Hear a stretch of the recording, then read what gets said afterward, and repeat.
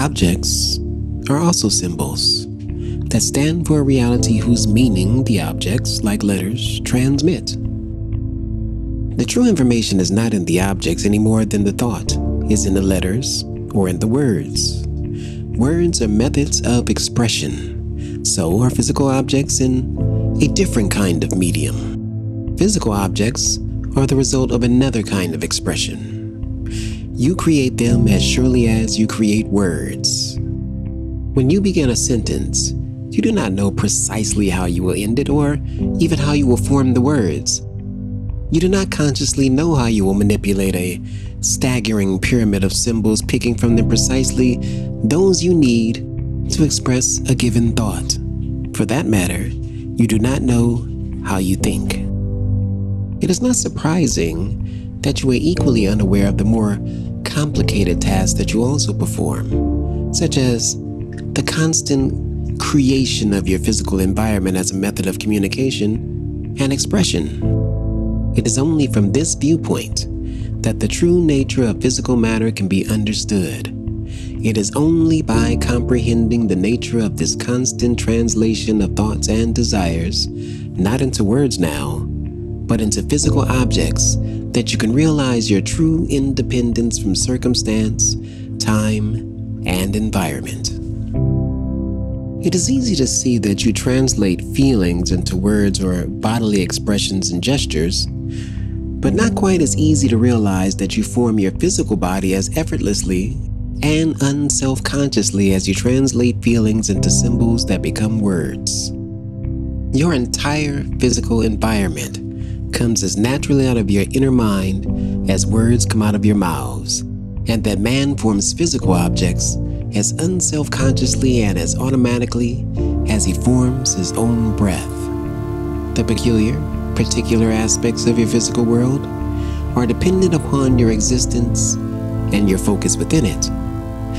Other kinds of consciousness coexist with the same space that your world inhabits. They do not perceive your physical objects, for their reality is composed of a different camouflage structure. You do not perceive them, and generally speaking, they do not perceive you. This is a general statement, however, for various points of your realities can and do coincide, so to speak. These points are not recognized as such, but they are points of what you could call double reality, containing great energy potential coordinate points. Indeed, where realities merge, there are main coordinate points, pure mathematically sources of fantastic energy, and subordinate coordinate points, vast in number.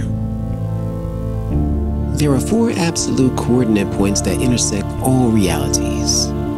These coordinate points also act as channels through which energy flows and as warps or invisible paths from one reality to another.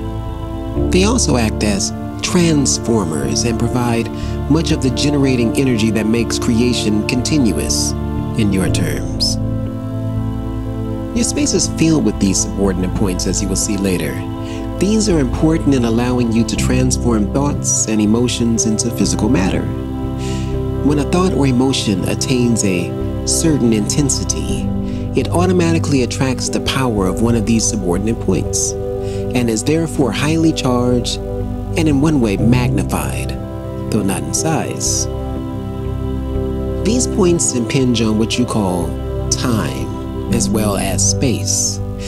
There are certain points in time and space, therefore, again, in your terms, that are more conducive than others, where both ideas and matter will be more highly charged. The concentrated energy points are activated by emotional intensities that are well within your normal range. Your own emotions or feelings will activate these coordinates, whether you know of them or not. Greater energy will therefore be added to the original thought or feeling, and its projection into physical matter accelerated. Now, this applies regardless of the nature of the feeling, only its intensity is involved here. These points are like invisible power plants, in other words, activated when any emotional feeling or thought of sufficient intensity comes into contact. The points themselves intensify whatever activates them in a quite neutral manner. Now, this is highly simplified, but the subjective experience of any consciousness is automatically expressed as electromagnetic energy units. These exist beneath the range of physical matter. They are, if you prefer, incipient particles that have not yet emerged into matter. These units are natural emanations from all kinds of consciousness. They are the invisible formations resulting from the reaction to any kind of stimuli. They very seldom exist in isolation, but unite under certain laws. They change both their form and their pulsation. Their relative duration depends upon the original intensity behind them. That is, behind the original thoughts, emotion, stimuli, or reaction that brought them into being. Under certain conditions, these coagulate into matter. Those electromagnetic units of high enough intensity automatically activate subordinate coordinate points of which I have spoken. They are therefore accelerated and propelled into matter far more quickly, in your terms, than units of lesser intensity.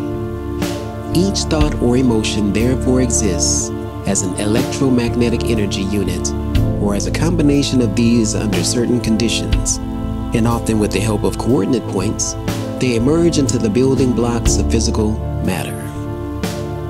The intensity of a feeling or thought or mental image is, therefore, the important element in determining its subsequent physical materialization.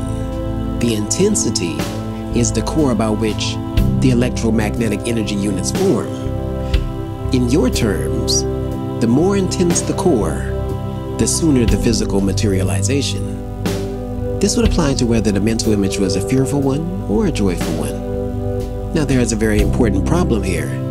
If your train of mind is highly intense, and you think in vivid mental emotional images, these will be swiftly formed into physical events.